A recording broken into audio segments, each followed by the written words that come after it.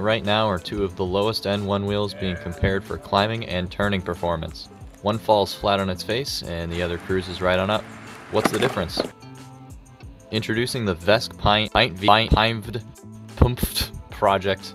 Uh, a modification that unleashes the true potential of this micro missile in ways never thought possible.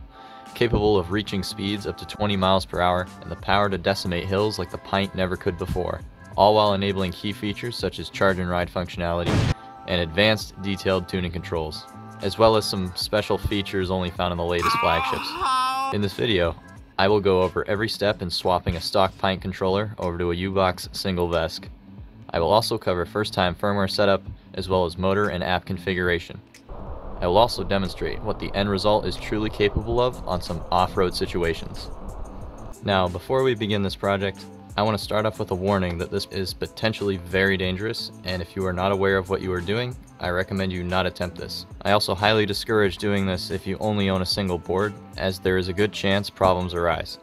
Hardware can arrive faulty, or a mistake in wiring could cause permanent damage. Do consider the time you would like to continue riding, maybe it could be a good winter project. This project alone has tested my ability to troubleshoot and has thrown plenty of wrenches at me over the last two months. That's not trying to scare you, but think about this project rationally. You will need time to make it good. Needless to say, I am not responsible for you causing injury or fire based on this video, the quality of modification is solely up to you. I want this video to come across as more of a walkthrough than a definitive guide. Everyone's situation is different, and there are methods and solutions in this video that are not up to everyone's spec. So, I guess this is where I should explain what a VESC is and what we're actually doing here. In short, VESC is an open source motor controller with a bunch of cool sensors and I.O. capabilities that can adapt to a plethora of different applications. If you are interested in a deeper dive into its history with one wheel and more discussion on the right to repair, definitely be sure to check out Mario's video on the subject. So the three critical aspects of the VESC hardware that we need to be present include the IMU, which is a small surface mount device equipped with an accelerometer and gyroscope for sensing tilt and changes in velocity, ADC ports for detecting the presence of analog signals to be interpreted and utilized by the VESC to perform certain actions. And of course, it just needs to be compact enough to fit in a pint enclosure, and that should be all that we need. Now I'm only explaining that to you in case the recommendation I am going to give becomes obsolete for some unknown reason. But I also figured it would be important to note, as those are all the sensors that we need to run a one-wheel. The VESC replaces the stock controller, this blue oddly shaped thing sometimes present with some dings from a poorly designed power switch. With that upgrade comes some benefits, but also some drawbacks that we'll have to be aware of. For one, leaderboards will no longer work because we don't use the Onewheel app anymore.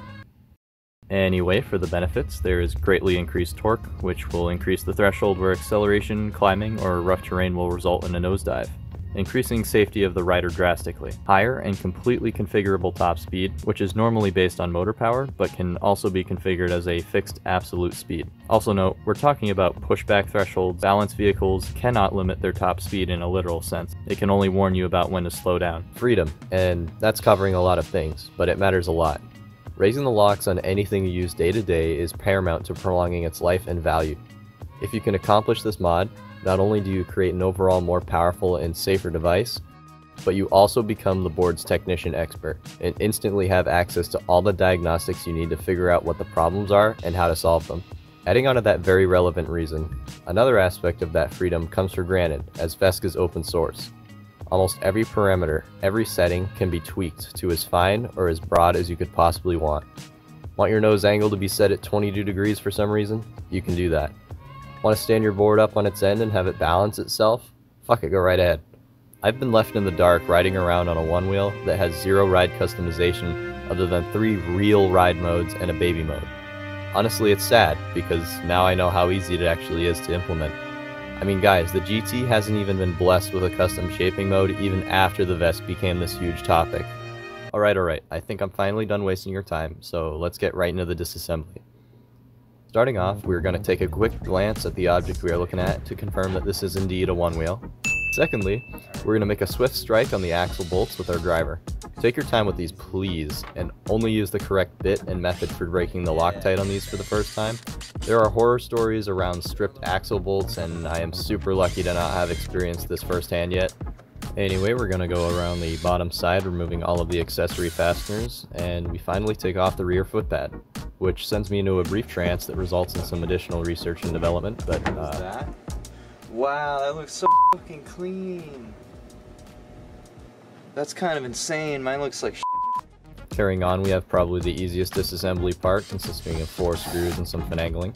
Then we are going to make a quick spin around, making sure that our tire does indeed make squeaky tire noises, and start to attack the front controller housing and front sensor pad. Yo, get a shot of that. Which way is it? I think it's this way. And unplugging the front sensor finally gives me the confidence that yes, I can indeed use Future Motion's advanced tools. Got that out. There goes a screw. The next stage involves finally removing the right side rail, which I have strategically chosen as it will give me ample room to safely remove the motor connector later on. It's a great thing that I didn't end up utilizing that strategy. There we go. Trust me, I know what I'm doing. For this particular instance, I had no idea what I was doing. And with one rail removed and the internal separated, we finally have what we came here for. A wheel on a stick. Actually lay it down.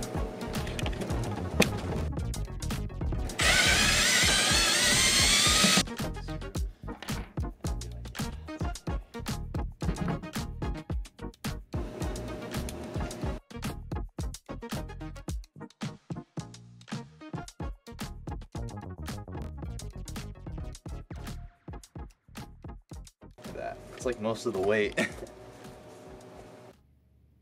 And there you have it. We have separated all of the major components of the board. Now we are ready for the next step. The battery housing contains the battery management system, which we have to bypass in order for this modification to work reliably. In this step, we will also enable the ability to charge and ride this board at the same time. A BMS bypass essentially converts the BMS into what we call a charge-only BMS. What that means is that while usually the BMS has control over the discharge path and charge path to the battery cells, we are now bypassing the switch for the output, meaning the BMS will have no ability to cut off power while we are riding around. I imagine that the BMS has no idea that its switching MOSFET is completely shorted, and in testing with multiple people, the rest of the BMS's functions remain unchanged, so in my mind it's safe to use. So it appears we have here a Qi Battery Systems Quart upgrade in place of the stock battery. VESC can utilize any battery that meets the voltage specification, and the battery should be built to handle the amperage draw necessary. In this case, because we have a quart, we have access to quite a bit higher amperage capacity, and we can draw more current from this pack to make our VESC upgrade even more powerful. After removing the BMS cover, you should take extra caution when poking around, as we are dealing with a very potent battery. You see that? See how it's not fully seated? It should be like, like that. okay, I got it.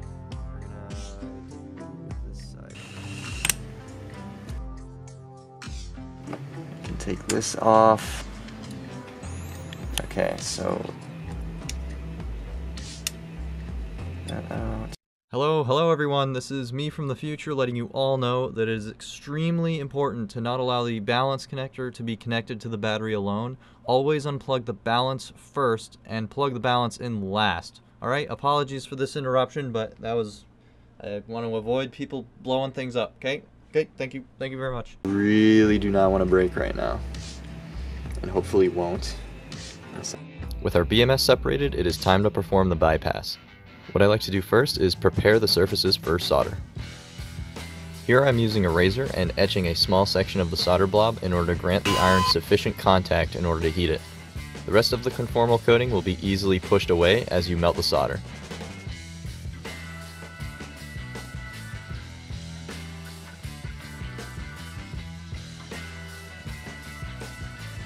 I then like to take some solid core house wiring and cut two angled faces on the sides. This will allow it to sit nicely between the two pins and make soldering a lot easier.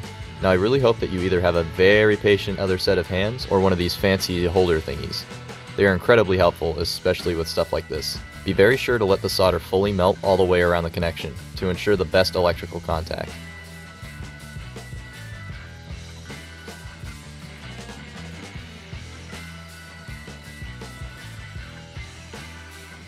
Now with the bypass in place, you can move it aside somewhere safe and get right into the controller housing. The same pentalobe security screws are present here along with an equally obnoxious O-ring. I have solutions to help with the O-ring reseating later if you have issues.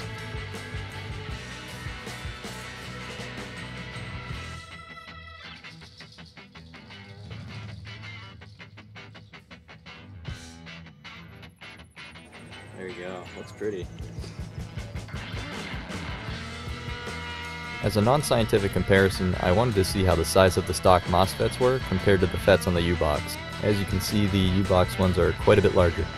We're just going to basically unplug everything.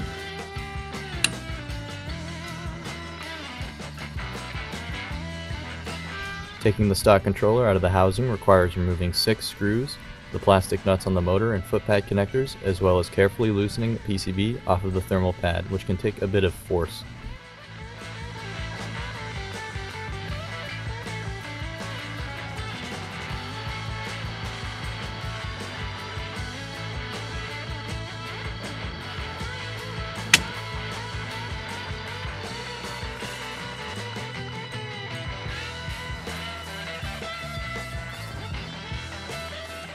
PCB, very nice. There's a little cutout thing, so it's all aluminum.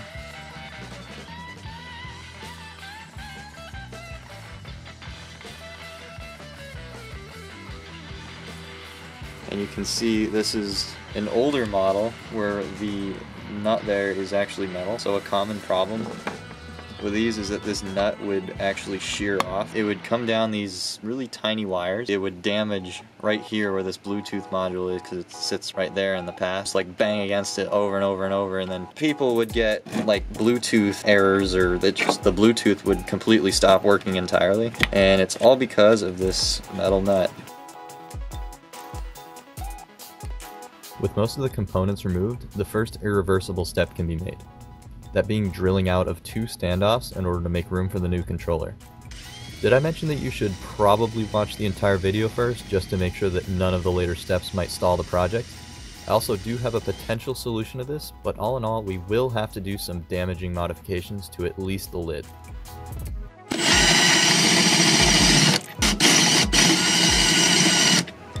So there's a bit of excess, but we're gonna probably sand that.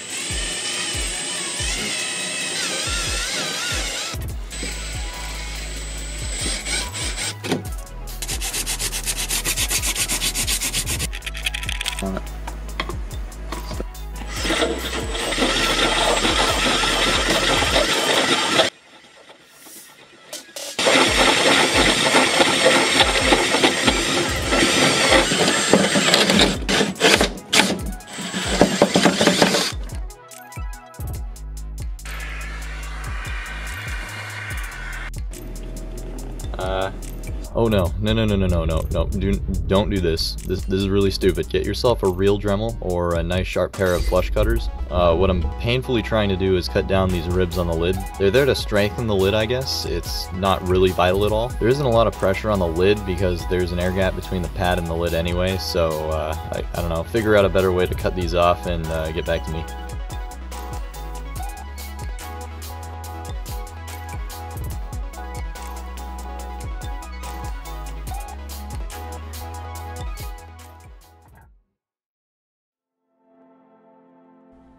Alright, it is finally time to get into some electrical stuff. The hub motor present on the Pint terminates with a custom style connector we assume was designed by FM and is not publicly available to purchase on its own anywhere. Therefore, we will make our own. Based off of someone else's design, I created a revised model of a printable motor connector that we can construct to fit in its place. It will connect to the motor flawlessly if built correctly. I will walk you through it. In order to start, we should make sure that we have everything that we need. I have a few Amazon links with the necessary parts in order to construct the connector. You will need 40mm male pin headers, 2mm bullet connectors, a 3D printer, and some epoxy, as well as general electrical tools like a soldering iron. I also wish the 2mm bullets were a bit longer to make this process easier. To solve this, I found myself some butt connectors that I ended up adding to the end in order to lengthen the part. I definitely want to look into better ways of easily extending these connectors. The motor connector was printed on an Ender 3 3D printer using PETG filament with a 0.4mm nozzle. A 0.3 or 0.2 nozzle may yield cleaner results, though resin printers will certainly make this kind of print a cakewalk. Using the female end of the 2mm connector, we are going to attach the extension and solder it in place. Make sure that you allow the solder to fully wick into the connector by applying the proper amount of heat. Do this for all three, and then grab some 12 gauge silicon wire and solder it to the end of our connector. The purpose of this additional wire is to create an easier connection point for when you wire up the VESC. You could also add your own bullet connectors here if you want to be able to remove it. After you finish the first part, make sure to check fitment into the printed shell and check the amount sticking out in the front. You will want to be sure it pokes out about half a millimeter below the top surface. It's not critical to be exact right now, we just need to make sure that it can get there at all.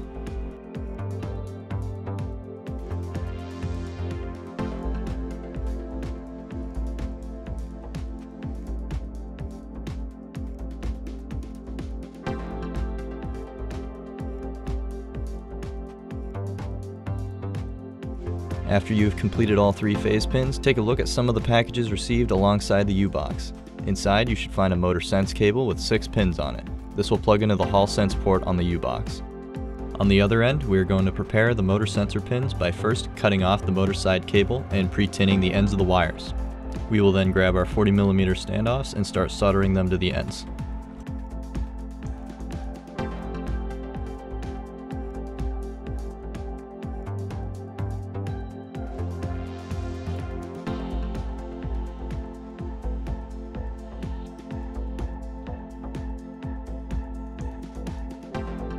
Once this is complete, we must apply heat shrink. Electrical tape is not allowed in this application. The sizing for the heat shrink is really whatever fits snug enough before heating, but you should consider the added thickness if you are using double-walled type, which can change the dimension enough to where you can't fit all the pins anymore. Also be careful that you are leaving enough of the pin exposed so that it inserts into the connector body enough.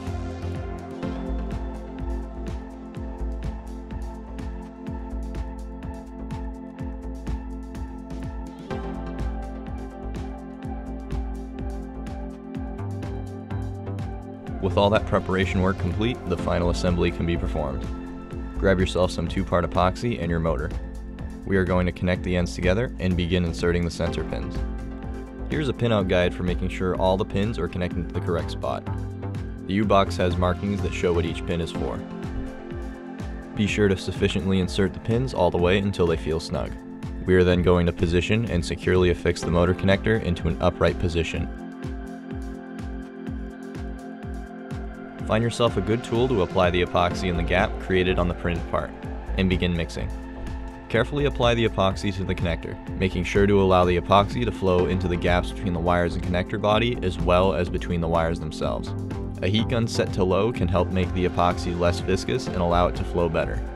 Well, would you look at the time? It seems that this video has taken 6 months to actually create, and that's not particularly impressive. I think I want to split this video into two parts, so that people can follow at least the initial preparation and be prepared for when the next video drops. If you end up following this guide and want to finish before the next one comes around, feel free to join the Vescify Discord server. I will have a link below to a permanent invite. Make sure if you do pop in, uh, to tell them I sent you. It would be much appreciated. Thank you all for watching. I hope the first installment into this hopefully ongoing channel has left somewhat a decent first impression. Oh, I did want to mention that the mic inconsistency is entirely my fault. I switched like halfway through, so if that was jarring, I apologize. And it won't be present in the next video. Anyway, stay warm and have a great rest of your day. Bye now.